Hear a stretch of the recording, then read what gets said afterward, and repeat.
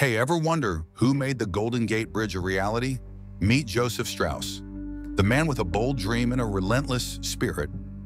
Back in the 1920s, connecting San Francisco to Marin County felt impossible. The Golden Gate Strait was a wild, windy, and deep stretch of water. Experts said, no bridge can survive here. But Strauss didn't listen. He pitched the idea during the Great Depression, and when money was tight and hope was low. Convincing people wasn't easy. Many thought it was too risky, too expensive. But Strauss believed so much in the dream that he fought hard to get funding and support. Then came the real heroes, the workers. Imagine dangling hundreds of feet above icy waters, battling fierce winds every day. It was dangerous.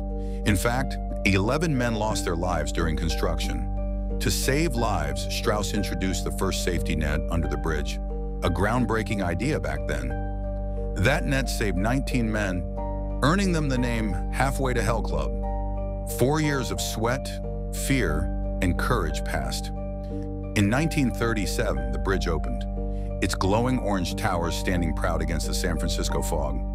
It wasn't just steel and cables. It was a symbol of human grit and teamwork.